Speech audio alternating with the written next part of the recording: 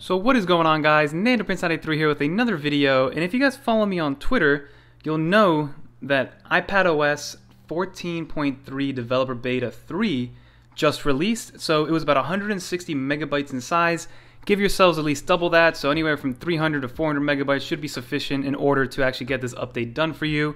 And again, it was pretty quick, pretty seamless. So to go over the build number, this actually gives us an idea of when to expect the final release. So if we go into General, go into the About settings and hit the 14.3 button, you'll see that we're running on 18C 5061A. So that's telling me that probably by next week, we'll get the final release version of iPadOS 14.3 and iOS 14.3 that comes along with that. Again, not too many front-end differences, if any at all, but there was something that really came to mind, right? There was three things that Apple kind of changed up, and again, they were all back-end ones, but if a corporation uses iPads, then this update is going to be amazing. So I went into the change log, right? And then it says here iPad OS 14.3 beta now supports shared iPad mode, right? And I immediately thought to myself, holy crap, this is exactly what people have been wanting for forever. You know, they wanted to be able to share one iPad between multiple people, especially in a family, in a household, so they don't have to buy $1,000 iPads for every single person. But, you know, even though shared iPad mode kind of sounds like that's what it would be, I dug a little bit deeper, right?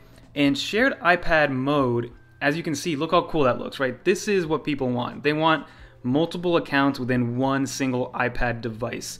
And as of right now, that you could do it, you could do it, but there's a couple things that you have to kind of get done, right? So, first off, this is mostly for corporations that have iPads throughout offices and are shared by multiple users, right? So this isn't going to really be a situation where you know you got one iPad that's shared among three or four of your kids, and you can kind of start creating usernames and passwords for all of your user accounts for your kids, right? That's not how it works. Right now, it's only for corporate use, and you need to have some sort of MDM software, which is mobile device management software. So if you're in the IT space, I know a lot of people that you know work in the back end, make sure they have a mobile device management tool to be able to kind of keep track of all the hardware that all the employees are using. So if you have something along those lines, and I know that some IT people bring their work home and kind of set up their own homes just like they would the office, so maybe this is for you, but with the correct MDM software, mobile device management software, you can now create multiple accounts within an iPad, which is amazing, right? And hopefully this is just shed some light and foreshadows that maybe with a 14.4 update, or probably we're gonna have to wait until iPadOS 15 to really get that multiple user support. So again, like I said, you're not buying thousand dollar iPad Pros throughout the entire family for you know if you're a family of five, that's five thousand dollars, right? Which is not something that a lot of people are willing to swallow.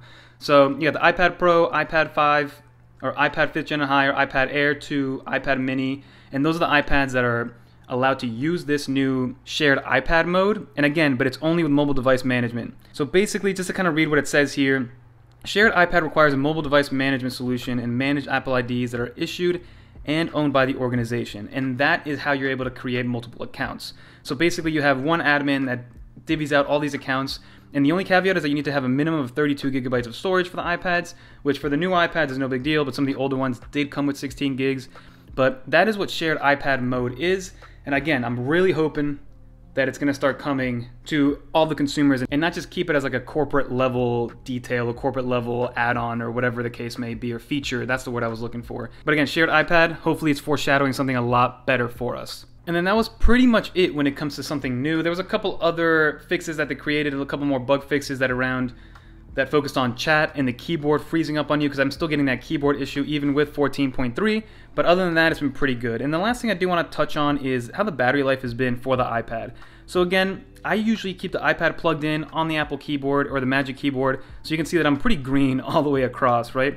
But you can see that my screen on time is about 5 hours and 45 minutes and then 2 hours and 15 minutes of screen off time over the last 10 days. If we click on that one, it's a little bit less right there because again, it was the holidays, we were on vacation. I tried to lower my screen time as much as possible, guys, but that's what the battery looks like. It's pretty good. I haven't had any hiccups with the battery. And again, I'm running the 2018 iPad Pro, so my battery isn't as new as those 2020s, right? So that's amazing to see that the iPad is holding up and the battery is staying strong, guys.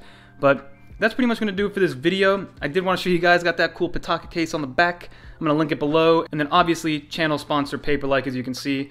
If I bring it down here, you can see the screen protectors on there, always ready.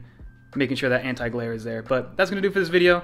Don't forget to like, comment, subscribe. Comment below if you guys have had any issues, if you guys updated, if you're to wait, or if you guys are still on just a public release schedule. But again, don't forget to like, comment, subscribe. Until next time.